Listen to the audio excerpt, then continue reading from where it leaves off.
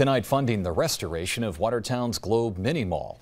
The state is putting in $558,000 toward the $3 million project, and locally, a $400,000 loan was approved this fall.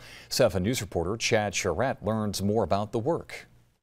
Situated along Court Street, the old Globe Mini Mall has sat vacant for years, but thanks to a $400,000 loan, that's set to change. Advantage Watertown couldn't be happier. I look forward to seeing one of the last pieces of downtown come together, and um, I'm just anxious, anxiously waiting to see what uh, what the plans are and seeing them come to fruition. At the year's final Advantage Watertown meeting, developer Dan Query with 302 Globe LLC discussed his plans for the old building.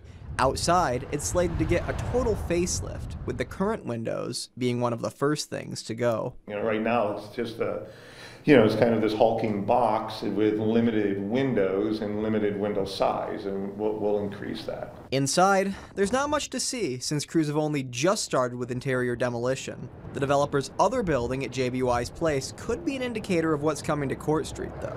Right now, plans call for approximately 15,000 square feet of business space on its first floor and 11 market rate single bedroom apartments upstairs. They're going to be relatively large, I think, for, you know, for a, for a downtown apartment and um, a lot of open space. For those concerned about the building's history, Query plans to keep the Globe name intact. It's an important building and it's an important name to this community, so I, I don't see why I would have any purpose or frankly right to come in and name it something else. The work at the Globe Mini Mall is slated to wrap up sometime next year, but Query doesn't plan to stop there. At the meeting, he revealed he has his sights set on another Watertown property, but he also added it's a little too early to reveal an exact location.